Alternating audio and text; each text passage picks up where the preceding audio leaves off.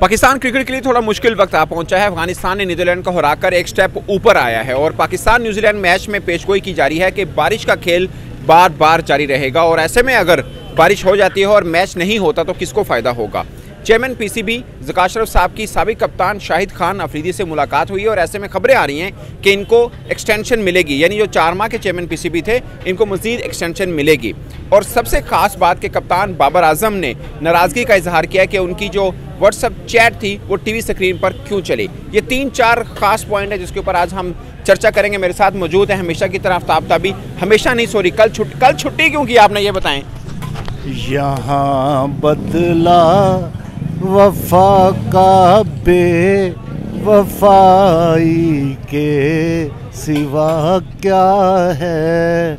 मोहब्बत कर के भी देखा मोहब्बत में भी धोखा है। दोस्तों ज़िंदगी में कामयाब होना है तो बेहिस हो जाओ जालिम हो जाओ वरना आपको रौंद कर लोग निकल जाएँगे। कोई लड़की छोड़ गई है हमारे भाई को इस उम्र में हम दुआ करेंगे उसको भी खुश रखे खुदा और इन्हें भी खुश रखे। खास topic yes, Pakistan yes, versus New Zealand. एक छोटा सा मैं आपको बड़ा बता दूँ जो एडवांसमेंट हुई है कि सात सात मैचेस हो चुके हैं पाकिस्तान न्यूजीलैंड और अफ़गानिस्तान के। न्यूजीलैंड अफ़गानिस्तान, पाकिस्तान अब ये तरतीब बन चुकी है। यानी चौथे नंबर पे न्यूजीलैंड है, पाँचवें पे अफ़गानिस्तान है और छठे पे पाकिस्तान है। सात सात मैचेस हैं, मगर न्यूजीलैंड और अफ़गानिस्तान दोनों की चार चार जीत हैं और पाकिस्तान की तीन जीत हैं। साफ़ है कि दोनों को एक एक जीत चाहिए आपस में रखने के लिए इन केस के पाकिस्तान दोनों मैच खुदा ना खासा अगर हार जाए। और इन केस पाकिस्तान दोनों मैच जीत जाए, फिर न्यूजीलैंड भी अपने दोनों मैचेस हारे और अफ़गानिस्तान भी हारे। तो ये पंगा कुछ इस तरह से हो चुका हुआ है,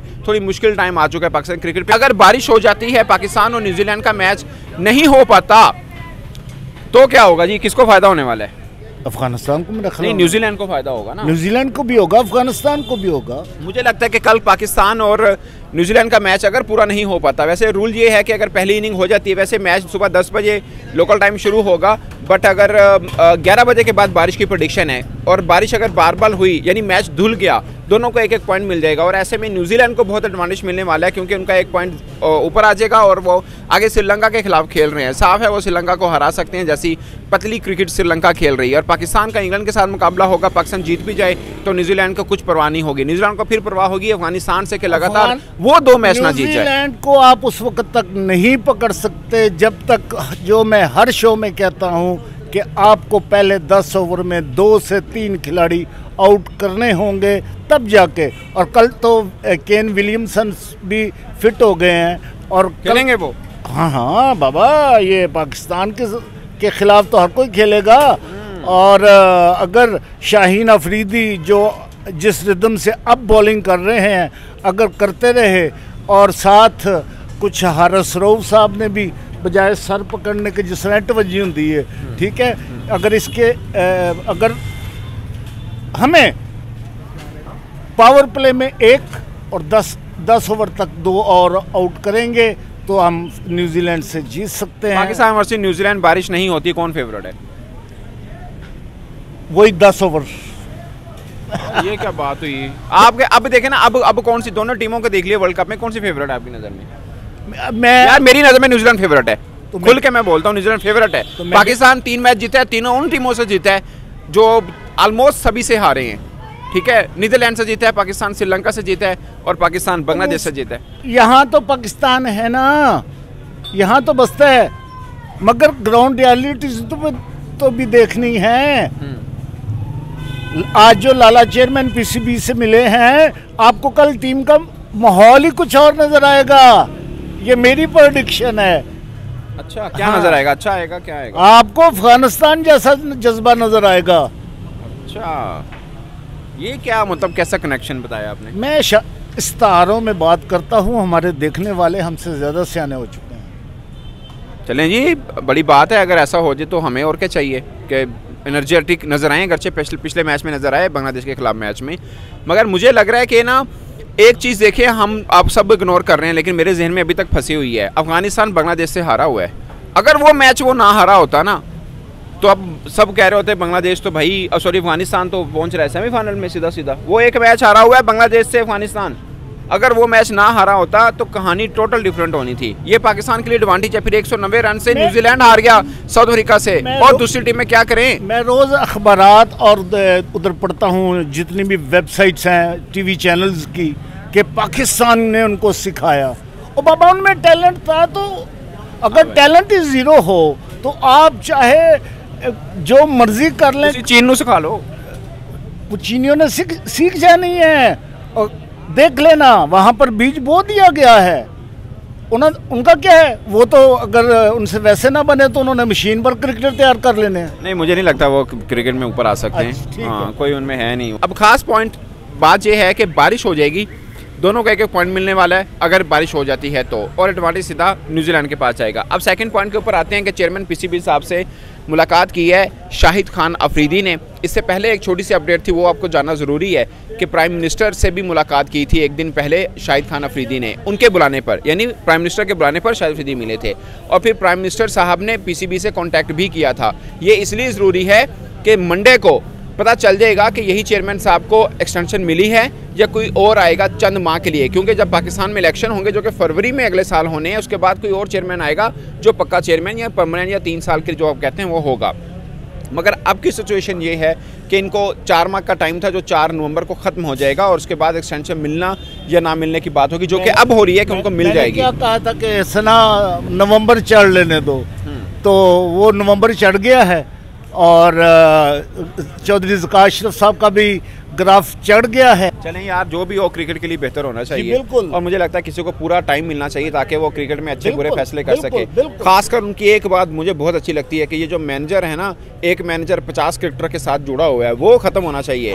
एक मैनेजर के साथ एक दो क्रिकेटर होने चाहिए। ये बात तो ठीक है। ये मैं पीसीबी के साथ हूँ इस मामले के ऊपर कि भाई ये एक मैनेजर कौन होता है जो सारी टीम को साथ होना ही पीसीबी का रिकमेंडेड चाहिए।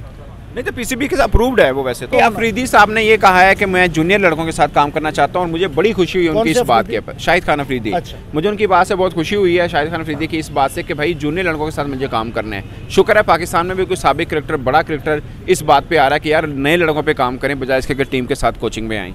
हाँ, यही ख्वाहिश लेकर मुश्ताक अहमद आए थे यही ख्वाहिश लेकर एजाज अहमद आए थे और उन्होंने कहा था कि अब मैं सारी उम्र कौमी क्रिकेट टीम के साथ काम नहीं करूँगा। और सिर्फ़ अंडर 16 अंडर 19 ये मुश्ताक एंड इजाज बोथ, ठीक है? दोनों को उस शोबे में रहने दिया गया, नहीं रहने दिया गया।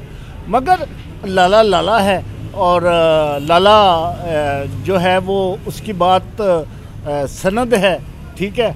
अगर लाला वाक़ता आए, खुद आएँ, प्रैक्टिकली आएँ, फिज़िकली आएँ, फिर तो बहुत अच्छा होगा। और अगर कोई और आफरीदी भेज दे तो फिर तो नहीं होगा। सही बात है। तो दोस्तों पाकिस्तान के लिए बड़ा क्रिटिकल टाइम आ चुका है वर्ल्ड कप में भी और पाकिस्तान क्रिकेट को लेकर भी। और ये कल का दिन बहुत खास है। पाकिस्तान यहाँ पर बड़ी गल ओ yes yes yes Babar Azam ने ये इनकी खबर है कि बाबर आज़म ने नाराज़गी का इजहार किया है कि जो उनकी व्हाट्सअप चैट थी जो उन्होंने पीसीबी के एक ऑफिशियल के साथ की वो टीवी स्क्रीन पर क्यों आई? आप ज़रा बताएँ कि उन्होंने क्या नाराज़गी में क्या कहा बाबर ने? उन्होंने सलमान नसीर पर इजहार नाराज़गी। बरहमी कह लें नाराज़गी कह लें इसका इजहार किया है। हम्म। और इससे मैं तो ये कहूँगा कि जो राशिद लतीफ़ ने कहा वो सच साबित हो गया। बाबर आज़म ने इस चीज़ पे नाराज़गी का इजहार किया कि मेरी चैट क्यों सामने आई? तो इसमें राशि लतीफ़ की सच्चाई कहाँ से आ गई? वो इसलिए आ गई कि जब आप दे ही उस बंदे को रहे हैं जो टोटली राशि लतीफ़ के एंटी है, ठीक है? और राशि लतीफ़ जो बोलेगा और खुल के बोलेगा और शायद थोड़ा सा एक चैनल के साथ वो बोले भी हैं और वो, उन्होंने जो लफ्ज़ इस्तेमाल किए, मैं नहीं कर सकता। ठीक है? उनको नहीं करने चाहिए थे वो लफज इस्तेमाल सहाफ़ियों के लिए। ठीक वो तो पुरानी बात है। वट एवर वो तो बहुत पुरानी बात है। वट चाहे पुरानी है चाहे नहीं नहीं मैं मैं उम्मीद करता हूँ राशिद लतीफ़ से मैं राशिद लतीफ़ से उम्मीद करता हूँ वो किसी भी तरह की कोई भी बात कर सकते हैं कोई भी लफ्ज़ इस्तेमाल कर सकते हैं। उनकी उनका जो जहन है वो उनके लफ्ज़ों की इकासी करता है। और लफज उनके उनके जहन की कासी करते हैं तो वो कुछ भी बोल सकते हैं। ठीक है लेकिन उनके लफाजी मुझे बेहतर नहीं लगती है। उनको अगर किसी पे गुस्सा भी है तो कम अज़ कम अल्फाज अच्छे इस्तेमाल करने चाहिए। मेरी ये राय है हो सकता है मैं गलत हूँ। बाकी आप भी सही कह रहे हैं आपका अपना एक्सपीरियंस मेरा अपना एक्सपीरियंस उनके साथ जो भी हो। ठीक है ना? कुछ और अर्ज़ करना हुक्म करना बताएँ। बस। बस जी। दोस्तों और इस दुआ के साथ के मैच हो पाकिस्तान और न्यूजीलैंड का आज आपने दो दुआएँ मांगनी है। एक ये कि पाकिस्तान और न्यूजीलैंड का मैच वो पूरा हो और दूसरा ये कि इनकी जो परेशानी है वो अल्लाह हल करे, जो छोड़ के गई है उस गम से अल्लाह इनको निजात दे। और हमारी तरफ़ से अब तक के लिए इतना ही। इजाज़त दीजिए। अल्लाह हाफिज़।